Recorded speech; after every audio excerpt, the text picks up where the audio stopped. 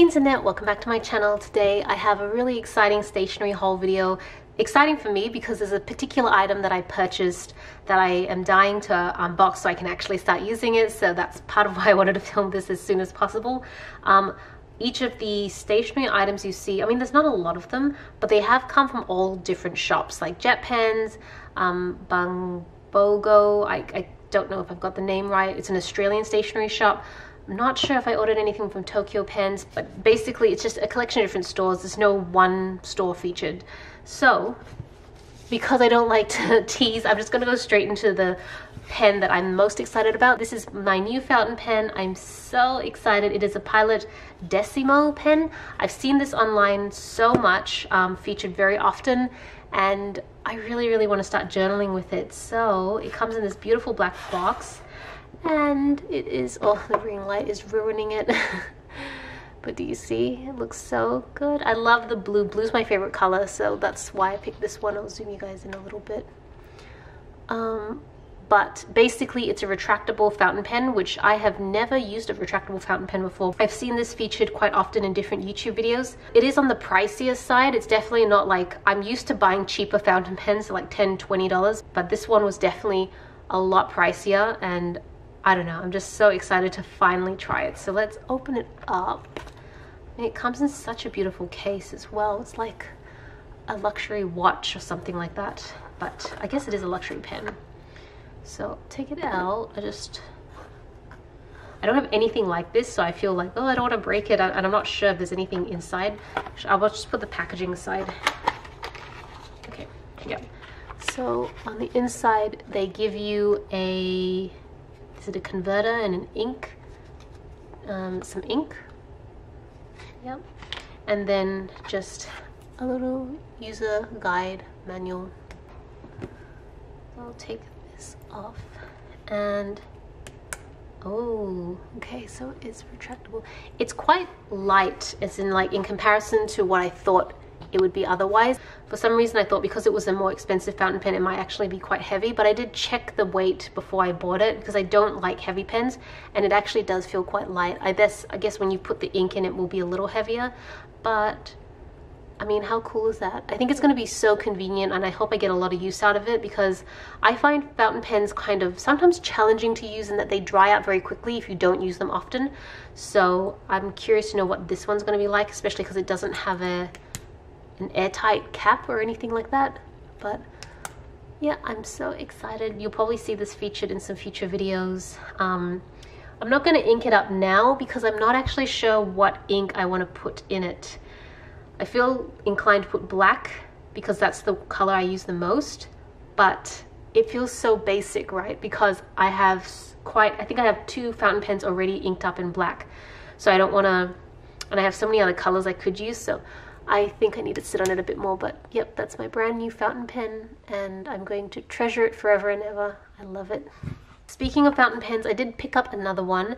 This was definitely nowhere near as pricey, um, but I saw it new in the new section, so I thought I would pick it up and give it a shot. I've been trying to expand my fountain pen collection because I've been slowly picking up more fountain pen inks and I don't have enough pens to to like match the inks that I'm getting and I don't use the inks fast enough to be able to like clean out a pen and then re-ink it with something new. So I thought I'd pick up a few cheaper fountain pens to try out. I've not heard of this brand before. Um, Majohn, Majohn? It looks Chinese or Taiwanese. Potentially Taiwanese because it doesn't look like it's traditional. Uh, maybe it's Chinese. I'm not sure. I'm, I'm not sure at all. But this one comes with a little ink, uh, what's the name? Is it like converter? Where you can draw the ink up, which I love. It's one thing I really love about the TWSBIs. I just love being able to draw it out. So this is the pen itself. It's such a cool design. I love this sort of marbling gem-like um, look on it. And it's twist. Okay, I remember this one now. So this one, one of the reasons I wanted to get this is that you can put the actual fountain pen nib on it, which is just in here. So this is, I think it's fine, extra, I think this is fine or extra fine. um, I tend to prefer fine or extra fine. I'm not really a fan of anything thicker. But this one is really cool because you can dip this into your ink and you see these little grooves in here. I think it collects some of the ink, gets like kind of stored in here. So it doesn't last for a very long time, but then you can write with it. And I wanted this because I wanted a pen that would allow me to change inks regularly without having to um, put in like without having to use a converter and then storing ink in here and then feeling like I have to use up all the ink before I can switch out the ink because I don't want to waste any. I don't want to get rid of it. I'm a bit weird about putting it back in the bottle again. I don't know if it contaminates it. I'm not very like I'm not a fountain pen connoisseur, so there's a lot of this sort of stuff I'm not familiar with. So I go based on gut, and I feel like this one will make it really easy to just dip in the bottle, right, and then I can just rinse it off and then change the ink. So um, I did buy a bunch of new fountain pen inks and I'm going to be doing a video on that pretty soon, probably in like another few weeks. So I'll definitely be using this pen to do all the swatching for that video. So yes, be on the lookout for that. Again, fountain pens, I got a bunch of converters um, because there's this range of Pilot fountain pens that I picked up probably a year ago. Um, they're kind of like designer entry level fountain pens and they all come with their own little like inks here, black inks. And so I use this black ink for all of them because they all came with it just to use it, I suppose. I have no real reason. Um, and I have them in different sizes, I think extra, extra fine, fine, and medium. So now that it's been a year, I'm sort of coming to the end of the life of that ink. It's starting to run out and typically I think I guess most people would just buy new inks but I thought I would just get converters instead so that I can use my own fountain pen inks so that's why I have four, three new converters for those three fountain pens and I can't wait to change out the inks and finally use something different I also have a couple like basic refills I already have quite a few refills, but I've been using them up over time, so I wanted to just restock. This is nothing special. If you're familiar with the Traveler's Notebook, then you have seen these um, many times, but this is for the pocket grid, so you can see the grid design.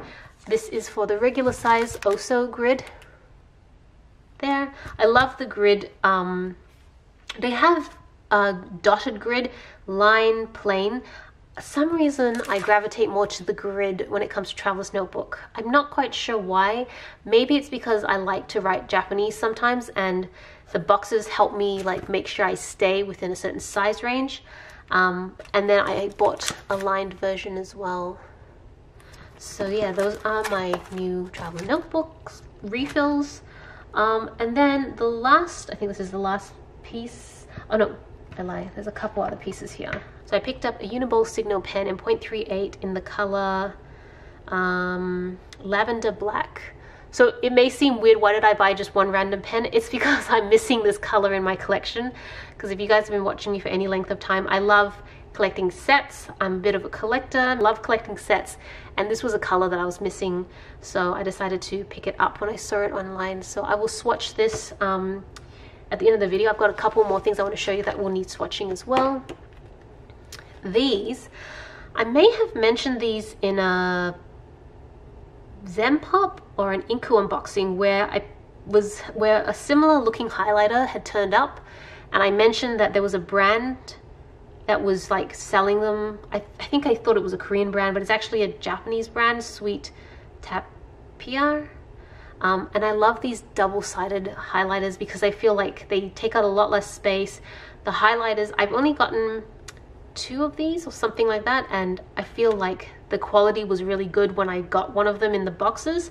So I decided to just get the whole set. So I can't wait to swatch these. And the last pens I wanted to show you before I start doing swatches are these new Mildliner colors. I'm so excited to try these out. I think these colors have been out for a little while now but I've only just managed to pick them up they look so good when I saw them swatched online I love how pastel and muted they are, like even more so than the existing Mildliners. So this is exactly up my alley. We've got um, these ones here, I think it's called uh, natural markers. So these are more natural colors. And then here is um, gentle, Yasashi is gentle colors. So I am going to swatch these, see what they're like. Start off with the Uniball pen.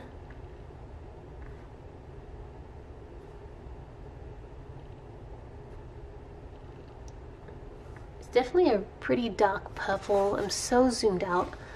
I think where I've placed the camera is very far away, so it feels very zoomed out, but that's what it looks like. Really like this. Um, I'm going to be doing a video where I will be swatching these again in my swatch book, and so I'm going to put these aside. I'm not going to put them away just yet, but I've got a video coming up where I want to show you guys how I categorize my swatch book because if you're like me and you have quite a few pens, it can be difficult to identify which shade of purple is the right purple you need when you are journaling. So the swatch book helps with that. So I will do a video on that soon. Okay, next I'm going to swatch the Mildliners. Because I'm going to be doing a video on my swatch book, I'm not going to swatch the um, sharp tips. I'll just do the um, bolder tips um, because I'll be doing both tips in the swatch in the swatch video. I, can't, don't know why I can't talk. And so really, I'm just trying to figure out what the colors look like at the moment. So this one is a mild gray color. Okay, it's a little darker than the gray color they currently have. This is a cream, mild cream. Oh, that's really, really light. Sorry it's so far away. I'll bring it up closer to the camera once I finish putting these down. And this is a dusty pink. Well, these are the names they call them, like mild dusty pink, mild cream. And this is olive.